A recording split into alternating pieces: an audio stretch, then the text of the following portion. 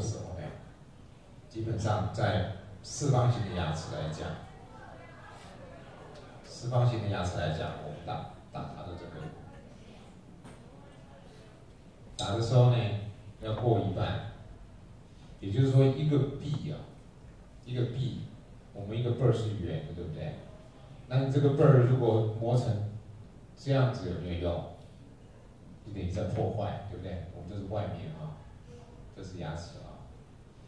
你磨这样是破坏，那你磨再过来一点点呢，还是破坏，这不叫做勾，没有用，叫破坏。那你再磨过来一点呢，到一这样子呢，还是破坏。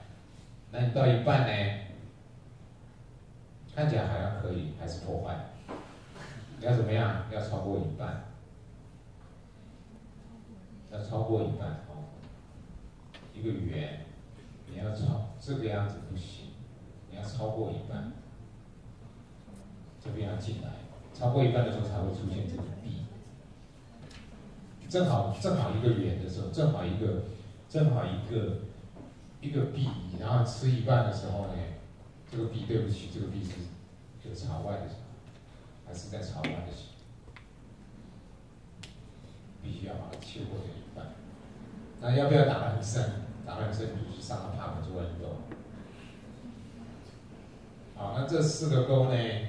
那这要打个勾，那这这里打一个勾，啊，那要不要打到四个勾？